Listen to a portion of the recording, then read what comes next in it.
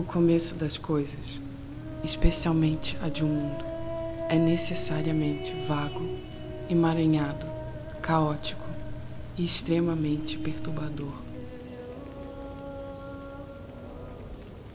Quão pouco de nós saímos desse início? Quantas almas perecem em seu tumulto?